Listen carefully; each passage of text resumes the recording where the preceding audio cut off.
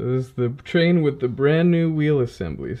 Yep. We'll see. I haven't ever tried it out, so we'll see how it works.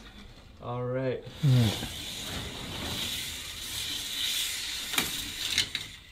Wow, that's pretty quick.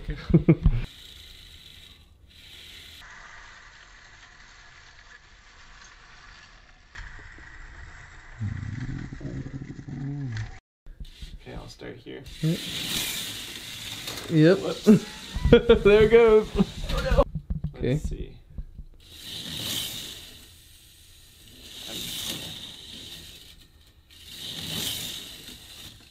Okay, so that's how, right there, that's how high that one needs to be.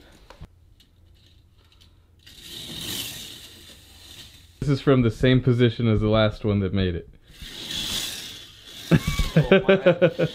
This one had, this one's like brand new, so I don't know if they, you have to break it in a lot, but Did you buy that?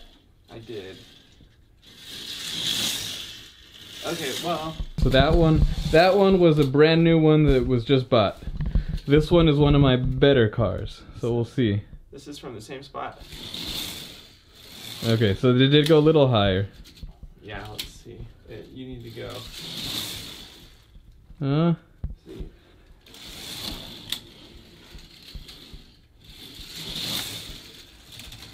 Whoops. Okay, so I'm just gonna be putting on the front wheel assembly, but this is from yours right here. So the Star Wars coaster train.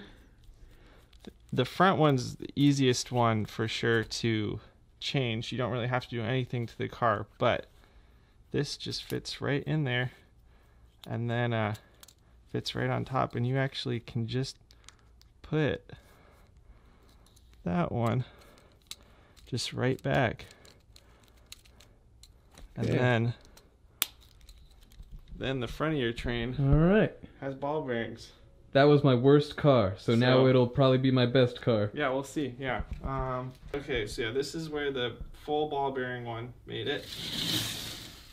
Okay, it- so, it almost it, makes it it. was like here before. Yep.